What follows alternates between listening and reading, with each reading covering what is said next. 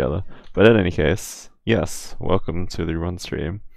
Uh, we'll be doing the entire world. Uh, so on the Conquer the World campaigns, it's the original one, the entire world. Uh, the original game launched with only this campaign, or these other four ones are the campaigns from the expansion. And oh, I'm out of water. Well, shit. I might actually have to go get more water because I'm gonna get run out of hydration during the stream. But uh, yeah, so the entire world was actually in the original campaign, but it was slightly different. The uh, the expansion changed a few things because the expansion added a bunch of new countries, well, nations in this terminology, and it moved around. Well, it didn't like move where people were, but like it added more divisions. It added more. I don't know what to call them, but you'll see in a second. We'll be playing as China. As China number one. But legit, China's my like favorite nation. So basically, it's a risk-like map, and you got to go from one territory to another, and you got to conquer. Well, the goal is to conquer all of them. Um, if you survive until the end of the game though, then you know you don't necessarily lose. It's just, you know, the goal is to get all of them. So I like the Chinese because of a little bit of this stuff and a little bit of this stuff. I really like fire lances. I really hate heavy fire lances. I like cheap science. I don't care about the second thing. I like large cities and I like instant citizens caravans merchants. So everyone sort of starts in their own little you know, country where you'd expect them to be on a world map. And the main difference is like the sort of clustered regions between like in in the original uh, Conquer the World campaign there was less territories here and there was like less territories here and I think this was the same but it basically just made the map a little bit bigger is the main thing. Yeah, just I really should have done this before the stream started, but I'm just gonna grab some water real quick. I'll be back in just a minute. Sorry for that.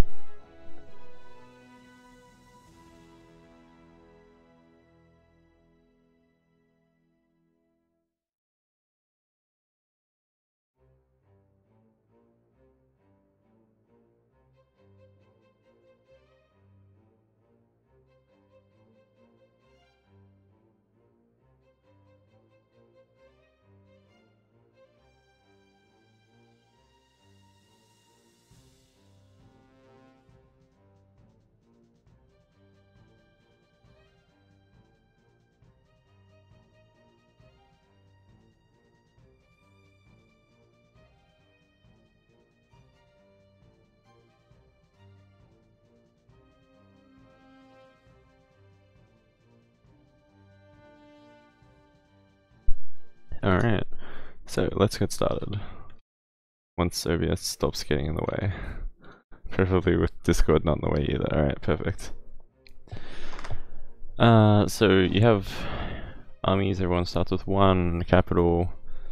Uh, what is the most important stuff to go over? So every turn you can attack one location. If you want to attack another uh, nation, you have to use tribute, like your your currency, I guess. This is like the only currency that matters on this screen, and once you like, let's say we do this and we press start, it's going to put us into a an actual RTS game.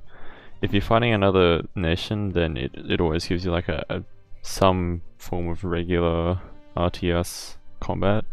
But if you're fighting like these unin well, not fully inhabited like barbarian nations, then it'll give you tactical missions. Like you can see at the bottom uh, over here on this screen it'll say scenario war party.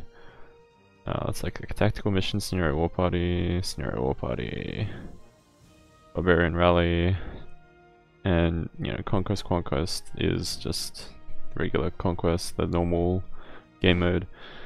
Uh, so each territory gives you like resources if you capture it. Um, you can see if I would go here in this territory over here, it would give me 10 tribute, I get a rare resource, and I get this card. So I can't really show you the cards until I have them, but basically you can play them before the start of most fights um, to gain boosts. Like this one gives you more food, one of the resources. In Resignations, partisans invading enemy troops take 50% more attrition damage during one battle. If you're not familiar with attrition, you'll kind of see what it is at some point. But yeah, there's lots of different cards. Um, rare resources on this screen work differently from rare resources in the game. If you control a rare resource on the world map screen, then you just always get that um, rare resource as if it was as if you had a merchant on it um, in in your game in your conquest. I don't know what to call it, but yeah. The other important thing is these sort of stocks of, I don't know what they are, they look like cannonballs to me, but I'm not sure if that's what they're supposed to be. Um, whenever you capture one of these territories, you get an army, and if someone else captures one of those off of you, you have to give up an army. Like you disband an army and they'll get an army, an army instead. So, like, we definitely want to try and get to one of these two first off. This one's safer. This one's like way more contested though, and if you got the contested one, then, you know, you can go from here and then like invade a capital or something. But the good thing about taking this one is that you can automatically claim Australia, because whenever you outnumber the enemy by two armies or more, you can just and that the territory strength is low, the territory strength is indicated here. If the territory strength is, I think, 4 and below, or maybe below 4, uh, what's the rule? You can win a non-capital territory without having to fight, you blah blah blah. It doesn't say. But yeah, if the territory is big enough, it doesn't matter if you outnumber them or not. I'm pretty sure. It just doesn't say it here. I think it's 4 and below. And if it's not 4 and below, it's definitely below 4, so just 3 and below. But in any case, let's get started. I'm gonna go for my standard opening. The nice, quick, easy, free Australia. Well, let's fight some barbarians. Now I have all this fun stuff on the screen too, isn't it great? Settlers from faraway regions are encroaching onto your lands, which is funny because we're invading the barbarians. Lead your war party in an effort to drive them off. Destroy 25 enemy units. So... The game just starts paused in single player if you let it. Uh, I'm just figuring out how to group my guys. It's an awkward set of units. I think what I might do is put light cav in one, range cav in another, and everyone else can have their own group. And then I'll actually get the scout to not be with everyone. So we'll split them up because they all fight differently. I don't really need that, do I? No. Alright, so the scout will just go around scouting. It's like, if you fight all of these guys at the same time, you don't really use their strengths properly. So I want to split them up if I can. I'm pretty sure getting resources doesn't give me anything useful. Like, I know if you do really well in these scenarios, you can... Hello. Where are the citizens? What? this farm is without citizens. But yeah, if you do really well, you can get um, like a bonus card, a special bonus card, which you can't usually get unless you, you know, get it from doing well in a scenario. There's a city here, but like, I'm not sure if having resources in this situation actually matters or not. It's really hard to tell.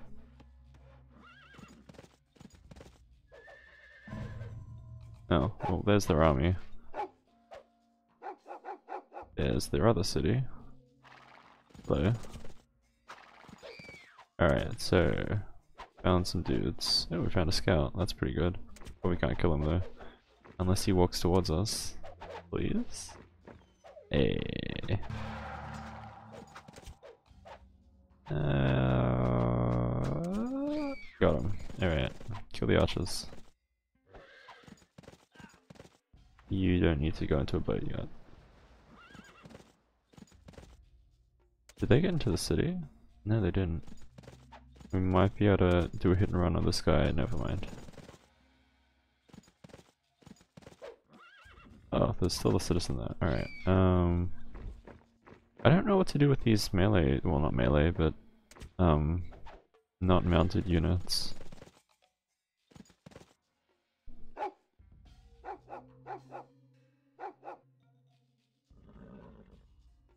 Get these guys to patrol the outskirts, see if they can find anything. No, go for the citizens. Like, we're just trying to kill units, we're not trying to destroy infrastructure. Perfect.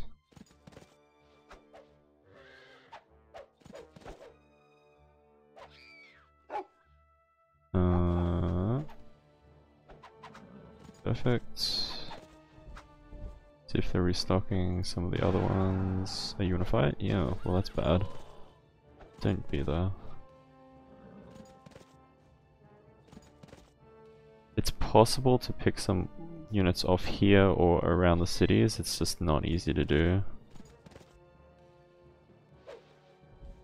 Alright, they restocked that one. So once dead, we'll hop down here.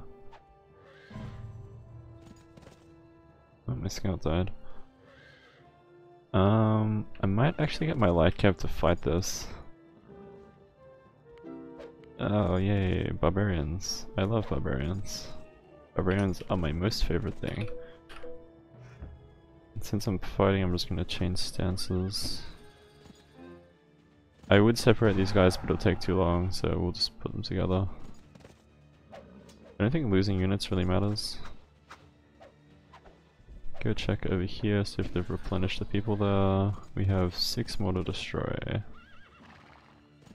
No replenished. Okay, well, try here and then look over here. Well, this looks good.